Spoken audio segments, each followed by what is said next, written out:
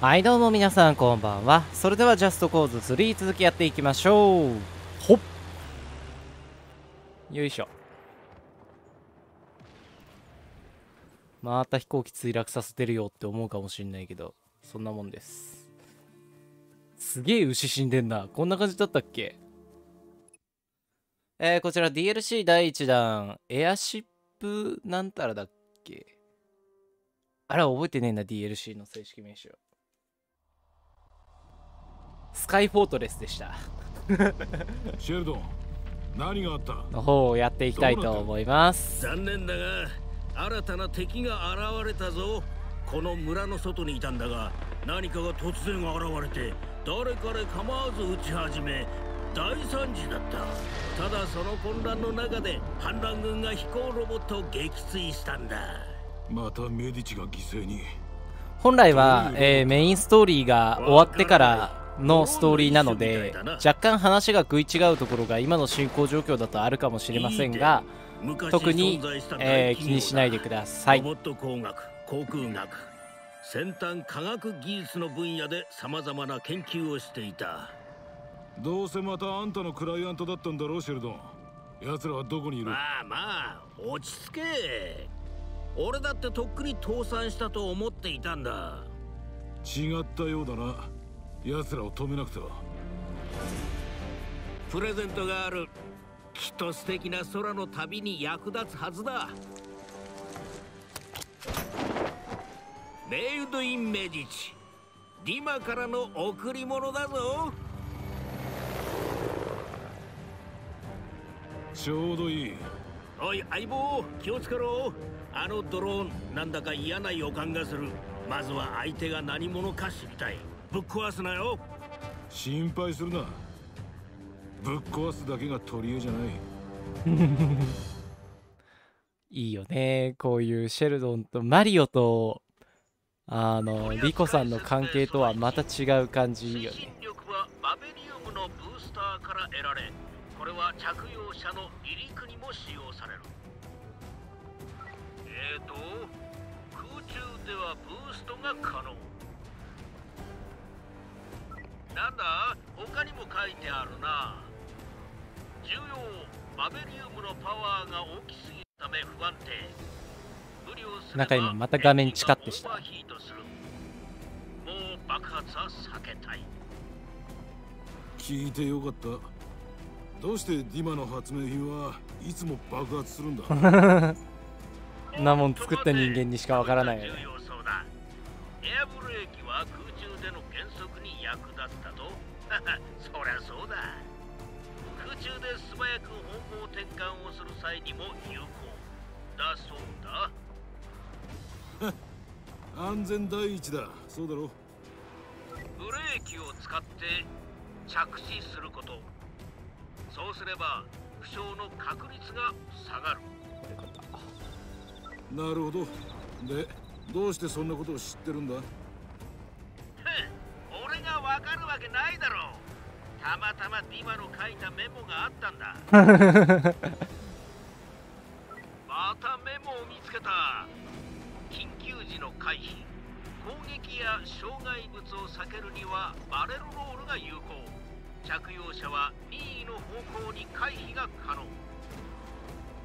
そうバレルロールっていうのがあってこのウィングスーツ通常のあのウィングスーツと違ってあの対空設備サムとかに狙われるんですよ。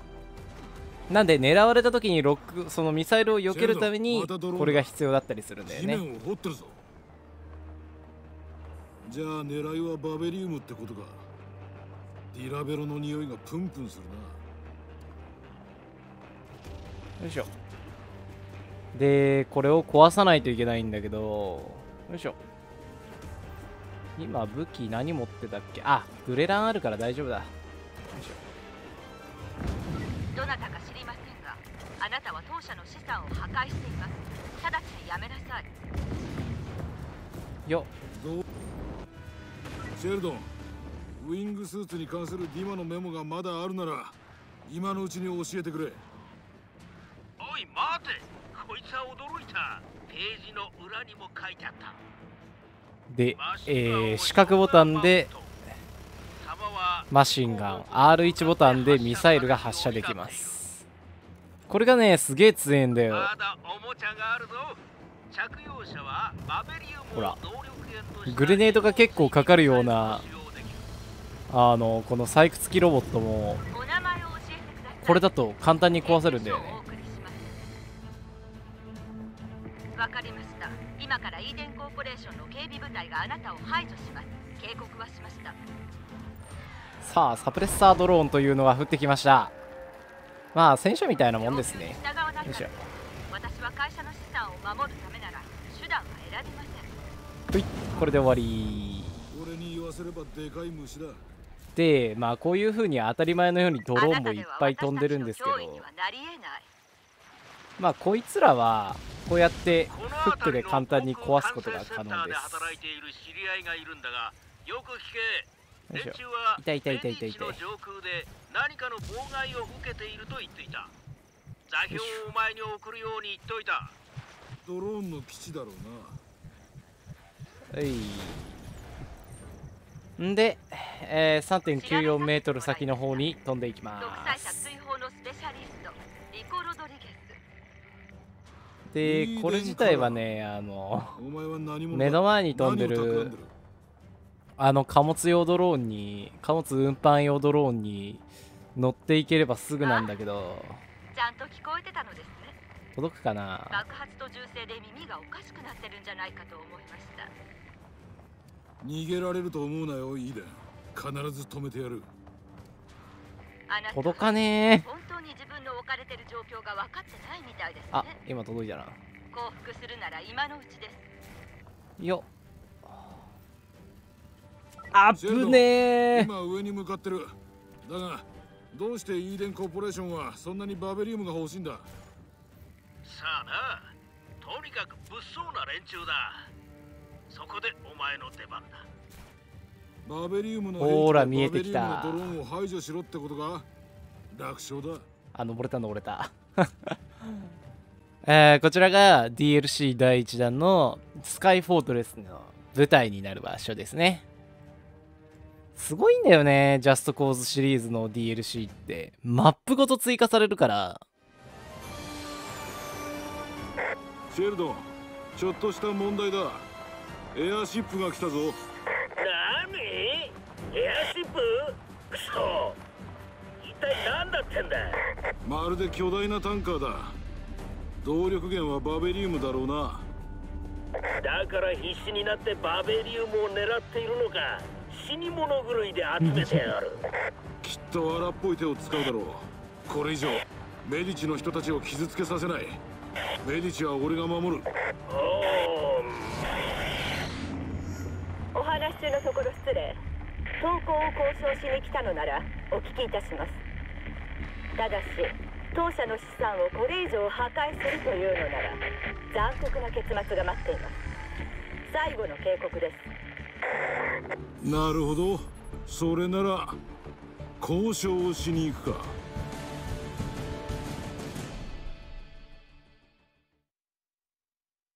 交渉。リコさん流の交渉ですねで、えーこれでちょっと俺が欲しかったウィングスーツ自体は回収終わったんだけどあのーイーデンコーポレーションのエアシップを攻略しないとうんとねギアモッドでいうこれスカイフォートレスモッドっていうのが解放できないのでこれを解放してからまあ、解放してからっていうか、まあ、今回に関しては、あの、DLC 終わるまではやっちゃおうかなって感じです。バベリウムスキャナーを探すのを手伝ってくれるわディマさん、今それどころじゃない。ということで、えー、どうしようかな。録画の映像自体は見せるよ。この攻略の映像はちらっと見せるけど、途中から倍速とかにして、他にもうちょっと見せたい映像もあるし、そっち見せようかな。よいしょ。まあ、あと、基本的には普通の基地攻略と変わらず、こうやって壊していくんですよ。あはん ちょっと待って、何ボタンだっけ、回避。三角だっけ？三角か。オッケーオッケー。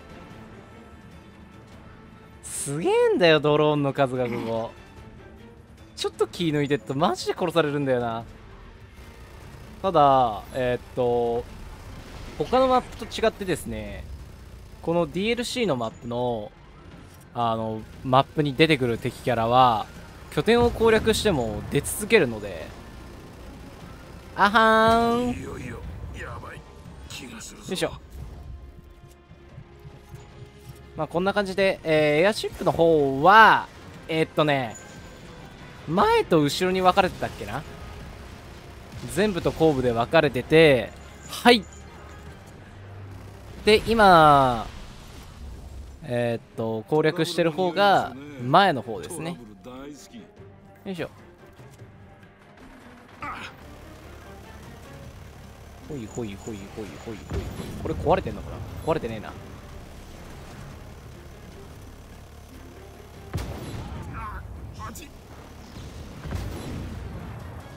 うー。危ねえ。まあこんな感じでねうまいことやっていけばほとんどダメージとか基準以外のダメージは食らわずにえーっとクリアすることができるのでまあこっからはダイジェストみたいな感じで見せるか適当に倍速にしてるかどっちかでしょう。はいということでね、えー今右下だか左下だかのどっちかに あのー拠点攻略中の映像が出てると思うんですけどその映像を横目にねシーポートスクランブルという、えーグラップリングフックを強化するためのミッションをやっていきましょう。ミッション？もっと？ん？ミニゲーム？もういろいろ言い方があってややこしいんだけど。何でもいいやもうこの際。で、えーまずですねこの後ろに磁石みたいなのがついてるあるんですけどこれを前の車とくっつけます。もうちょっと近い方がいいかな。まあこんなもんでいいか。で、えーこうやって起動して起動したっていうかこういう状態で L1 ボタンを押すと、まあ、これが強力な磁石になっていてバベリウムの原石みたいなのを集めてくれるんですよ。で、えーこのバベリウムの原石みたいなのがここのマップのそこら中に置いてあるのでこれを吹き飛ばしたりしないように回収していきます。集まれー。集まれー。そうこんな感じ。で、えーまあ一定数溜まったらあんまり欲張りすぎると大変なのでえーここの穴の中に入ってで L1 をもう一度押すと磁石がキャンセルされるのでここにポンと全部捨てていきます。そうすると今得点が入ってでえーっと経験値の方も経験値じゃねえ制限時間の方も若干増えたと思うんですけどこんな感じでバベリウムの原石を集めつつ邪魔してくる敵などをかいくぐって、えー目標スコアに到達させるのがこのミニゲームのあれになります。概要になります。ちょっと難しいんだよねこれ。車にニトロとかジャンプとか無駄に積んであるからさ。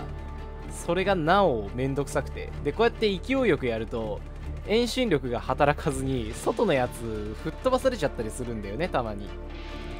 なんで吹っ飛ばされたやつを回収したりもしてこうやって集めてあやばいやばいやばいやばいやばいやばいやばいやばいもうちょっと短くてよかったねフックでこうやってまた置いて落とすでもうこれで目標スコアに到達したので遊んでてもいいんですけど、まあこういうのとかもね。でえっ、と普通のこの辺にいっぱい落ちてる石は若干得点が低いんですがちょっと待ってカメラ視点が難しいな。今みたいにちょっとした柵の上とかんなんか今どういうカメラ視点になってるわかんねえな。こういうとこの上にある青い原石。これを集めると高純度のバベリウムっていう種類でしてこちらが。だからこの辺をポイって入れると若干ね得点が高くなったりするんじゃなかったかな。確か通常のバベリウムが1個100点くらいなのに対してこの水色のやつに関しては1個300点くらいもらえるんじゃなかったかな。ただ一番最初のミニゲームのやつなのでそんなにあの無理して集めるよりは数集めた方が正確だったりします。一番最初のやつはね。で残り30秒くらいあるんで遊んでおきましょうか。はいたたたたたたた。次は誰だ？あでちなみにあのー今そのワイプで出しワイプ、うん、ワイプで出してる映像にも映ってるかもしれませんがこちらがあのーなんて言うんだろうな、まあ、DLC の武器でしてこれがねバカほど便利なんですよ最大弾数が60発くらいあって連射もそこそこ速くリロードもかなり速いっていう神みたいな武器で。でこれでねロープがかける2個になったかな。はいはい死ね死ねお前。らはい邪魔邪魔邪魔。邪魔だよ。こんな感じでめっちゃ連射性いいんですよ。この武器でリロードも速くてみたいな。DLC でまあ若干ね集団性は弾の集団率は悪いんだけどそれでも使いやすい武器なので。よいしょ。これがね欲しかったのもある。DLC をやる理由としては。よいしょ。まあこんな感じでねあのサブマシンガンっていうか両手武器のマシンガンに関してはしばらくっていうかずっとこれがスタメンになると思う。めちゃ強いですこれは。はいということで、えー本編の方に戻ってると思うけどうん。大丈夫かな？多分こっちの動画の尺全然足りてない気がする。はい。はい終わりました。よっ。えー、疲れた。だいたい10分くらいかかった。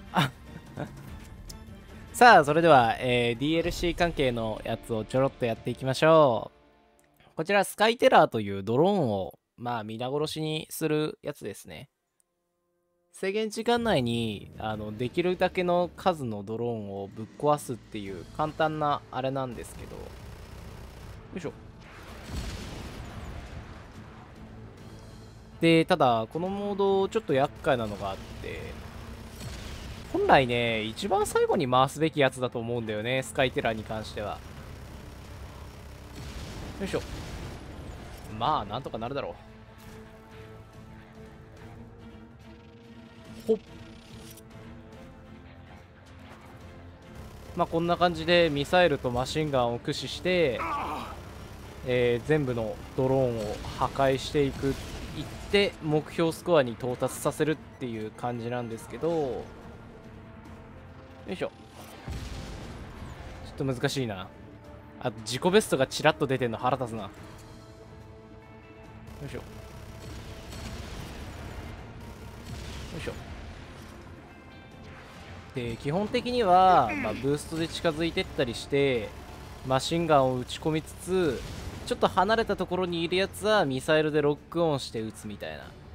今の段階だとミサイルのチャージがクソ遅いんで撃ち込めるのって一発までなんですよ。ただこれが時間経過するともうちょっと撃ち込めるようになったりして危ねえな。あー自己死したんだけど。でそうえーっと今今見せた感じで、えーこういう死に方がちょっとたまにありまして。これなんで死ぬかっていうとブーストで速度が出てる状態の時に何かしら壁に当たったりするとリコさんはダメージを受けることがもちろんあるんですよ人間なので。そういうことです。はい。わ最悪。外した。初手から外した。くそうまくいく自信がない。なんでえーっとウィングスーツのこっちの新型ウィングスーツの方はちょっと取り扱いが難しいんですよね。下手するとあのこれでヘリコプターを落とした時とかにヘリコプターの残骸にぶつかって自分が死ぬとかっていう可能性もあるので構難しくはあります。操作の方は、まあ、ただ、えー、っと使い方さえちゃんと間違わなければ永遠に空を飛んでられる便利なアイテムなのでこちらはね早めに取っておきたかったっていうのがあります。あとまあ正直あの痛い。移動に関してはまあまあ事故で死んじゃうっていうことはあってもミッション中はなかなか事故で死ぬってことはないと思うのであとね何かとあった方が便利なんだよね。ストーリーの状況とかによっては。よいしょ。リコさんはまあ基本的には生身の状態でも普通に強いけどノーマルの状態のウィングスーツは攻撃手段が全くなくて移動するためだけのアイテムなので結構難しいところもあるんですけど。ん？全部取った俺今。取ったっぽいな。オッケー。お取れてるわ。すごっ。ジャスト4万4000じゃん。お前ら井口。覚悟しろよ。よいしょ。でえー、っとこれでスーツマシンガンのオーバーヒート抑制でブーストのチャージが速くなる、えー、でミサイルランチャーのクールダウンが速くなるっていうのを解放しました、まあ、こっちを解放してからやるのがいいかもしれない。正直スカイテラーは。で残りがウィングスーツ関係のミッションなので。よいしょ。あいたたたたたなんで飛んでんの？痛いって。それは俺が悪いけどさ。なんでラグドロ状態になっとんのよ？よいしょ。リコこのウィングスーツコースはすごい。飛行技術の上達にはもってこいだよアクイラ。なんか今更一番最初のウィングスーツの説明を出しゃばってきたんだけど。まあいいや。で、えー、まあウィングスーツ通常のウィングスーツと似たような感じでえー、あっち飛んだりこっち飛んだりっていうようなミッションなんだけどちょっとこれだけは難易度がアホみたいに高くてうん。ちょっとねこのマップだったか忘れたけどすげえおっかないんですよ。これ見たらわかるけど次どこ行けばいいかわかんないでしょ。まああそこ行けばいいんだけどこういう狭い隙間とかを平気で通らせるからあーちょっとミスった今。まあこれはウィングスーツのなんだ技術の賜物というか飛んでられるから成立するけど普通のウィングスーツじゃとてもじゃないけど成立しないミニゲームだよね。よいしょ。これがちょっと難しい。ここだ。この1のやつが俺すげえ嫌いで。あーちょっとこれ星星ってかギア5取れないなこれ。こんな感じであぶつかっちゃった。狭いところをぐんぐんぐんぐん進んでいくんですよ。エアシップマスターツアー1っていうのは。ちょっと難しい愛か こればっかしはね、あの、ギアがどうこうとかじゃなくて、モッドがどこまで解放してあるから楽とかっていうのはないんですよ、正直。腕の問題ですんで、ちょっと、まあ、カットして、あれですね。うん。パパッパッと終わりにしちゃおうかな。